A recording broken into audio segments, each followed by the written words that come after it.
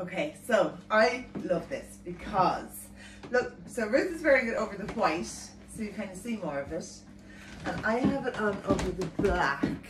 But I love the colours in it. I had to go for the royal blue boots as soon as I saw it. Like it's dark, I know for summer, it's totally sheer. But it's not, Nessa.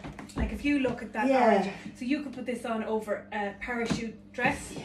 It could go with cropped. It'd be brilliant for traveling. Rolls in a ball, doesn't crease, dries really quickly. Yeah. But there are like there's a lime in it. There's orange. There's white. There's black. There's blue. There's navy. There's green. Yeah. It's Like fab. there's everything in it. It's a lovely mix. The prints are different, so they'll all kind of sit. You have a nice blotch of orange on your Oh, I back. do have a nice. Oh, she's Damien have a heart attack now. She sees the tag out.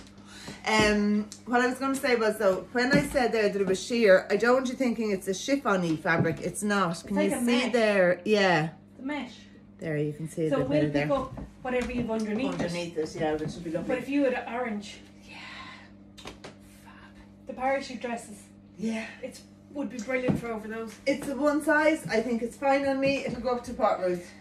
26, 28? 26. 26. No problem. Yeah, it'll be No right. It's problem. like a free size. It would also be very nice in maybe cooler weather, white shirt, crisp collar, Pair of jeans, jeans.